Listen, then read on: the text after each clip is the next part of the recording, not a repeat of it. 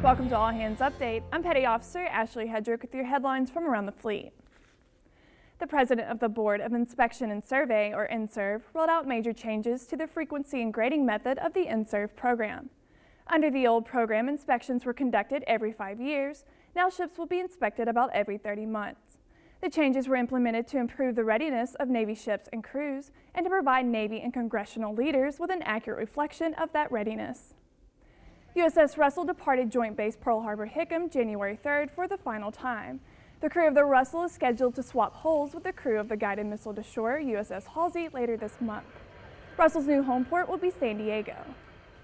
You can read more about these stories at Navy.mil. From All Hands Update, thanks for watching.